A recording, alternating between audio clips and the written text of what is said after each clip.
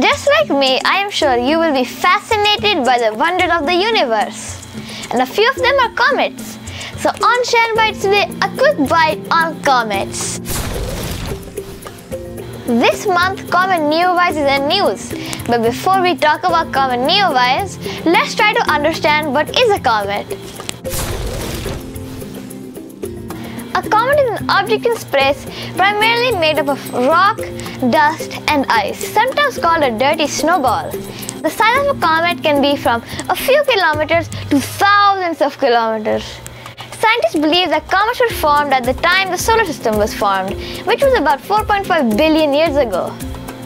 When we see comets from our planet, they seem to be shiny objects with a tail. So what makes comets so shiny and how do their tails form? As illustrated here, that comet is a revolving object. When it gets closer to the sun, the sun heats its ice and gas that forms a cloud around its nucleus called the coma.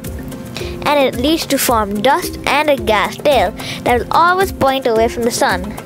The shine on the comet is because the sunlight reflected on it. There are over 6,000 known comets in our universe, and that number is growing with time. The most recent one found is called Neowise, and it can be seen by the naked eye in the northern hemisphere.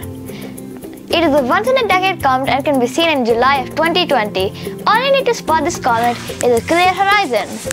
Another famous comet is the Halley's Comet that comes around every 75 to 76 years. So keep your eyes peeled in 2061 as it will pass by close to Earth.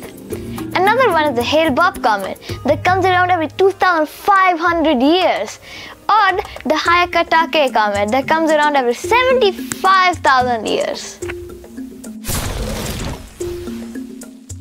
You might be wondering if comets can hit Earth, but the likelihood of that happening is super super low.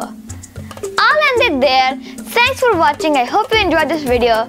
If you haven't done so, don't forget to subscribe to my channel, give this video a thumbs up, share this video, and I'll see you next time.